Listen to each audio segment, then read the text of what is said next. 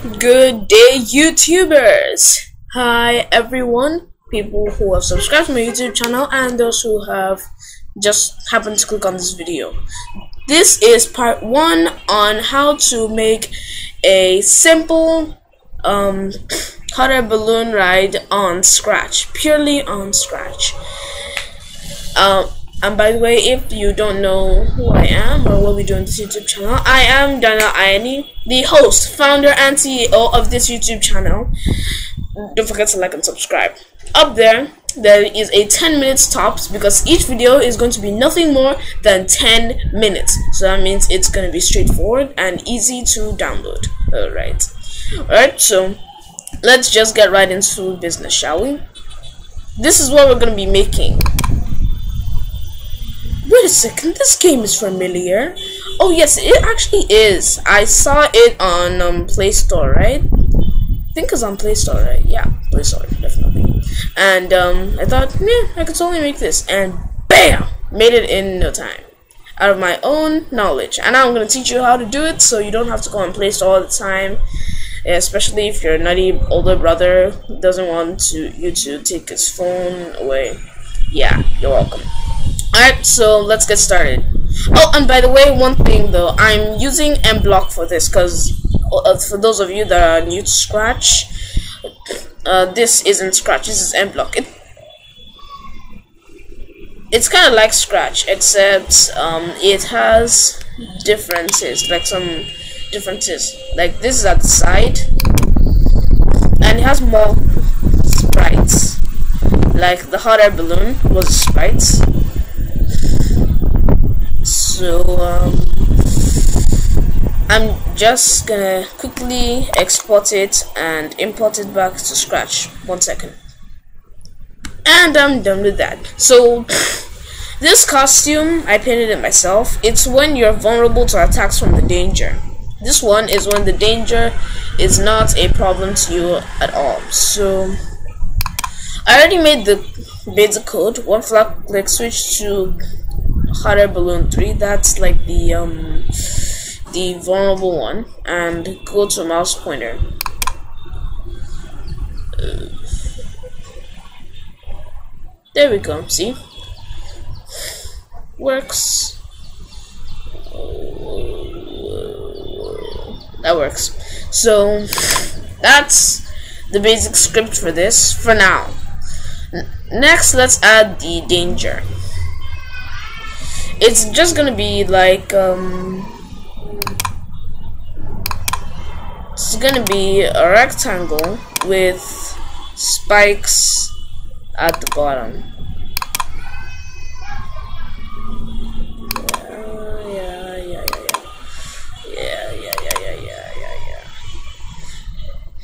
or something like that so our goal is for it to start here and um, go down here then vanish. Disappear because we don't need that anymore. Okay. So let's design second boom. Check it. Th there is a long one there's a medium and there's a small. Okay so these three costumes, it's gonna make clones of itself, and the clones are gonna appear from here, as you said, and to go all the way down here and then vanish. Unless I touch the player, then it's game over. I already have some of the codes here. One flag clicked, hide. The original thing hides, and until the game is done, it creates clones of itself and waits 0.5 seconds between each clone so they're not clones everywhere. So because we the player needs space to go around. And when I start as a clone show because the original thing was hiding. So uh, now this isn't really gonna seem like doing much. See? It's actually making the clones just that the clones are stacked on top of each other. So let's make them move. But first, let me teach you something a little bit about coordinates. Don't worry, this isn't to be like a Professor Wilbur's math class. Just kidding. It's definitely to be like a math class. But seriously though, let's get down to business. Now, as you can see, this Y, but Oh, but if you're already familiar with the idea of coordinates, just fast forward. But if you aren't, then you're really gonna need to listen to this part. So as you can see this Y, right? This Y position is like it increases as you go up and decreases as you go down. The middle is zero. Same with the X. The X position it increases as you go left and it decreases as you no, it increases as you go right and it decreases as you go left. The middle is also zero. So um so we wanted to pick a random x position from negative 240 to 240 that's from here to here from this side to this side. And its y position should be um 180 that's at the top. And when it reaches negative 180 or maybe like 170 we delete the clone because you know we don't need it anymore. So let's get to it. First let's add a set y to 180 no wait set y to 180 at the beginning. Whenever it's a clone set y to 180 and um, set x to pick random.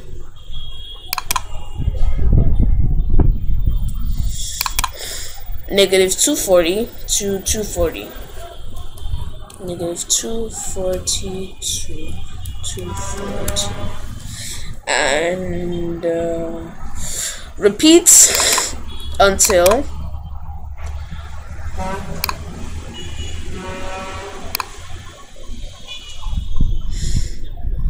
repeat until touching no wait repeat until y position that's like the up and down position is equal to 170 oh no wait is less than 170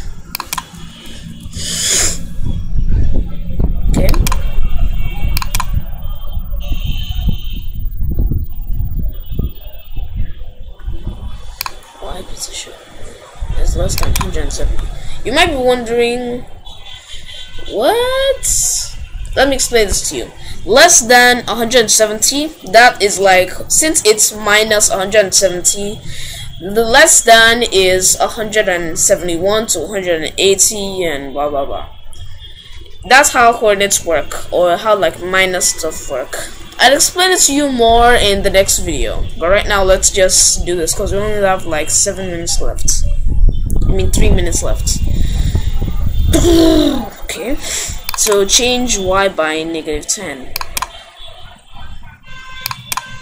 Change y by negative 10.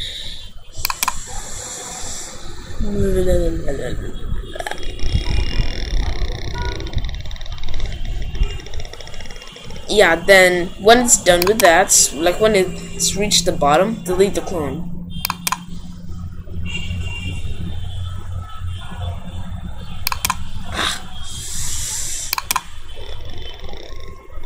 Deletes this clone. Alright, let's see how that works. As you can see, it already looks like the main thing. Except for one thing. It's only like one costume. But we can fix that. It's really simple. All I have to do is go to looks switch costume to at the beginning. Switch costume to operators. Pick random. One two three. One two three. Okay. So uh, that's about it for this tutorial. Um, watch out for the next tutorial. I'm gonna make it should be like right there I think. Yeah well, right there somewhere over there like at the top of the list right there. Check. It should be right there. Anyway. So I'm just gonna real quick make the um backdrop a little bit darker. One second. Okay done with that. Color 0 saturation 0 brightness 73 you can make it any color you want. In fact, you can make it even more colorful than it already is. You don't have to do it all black and white. Anyway, see you in my next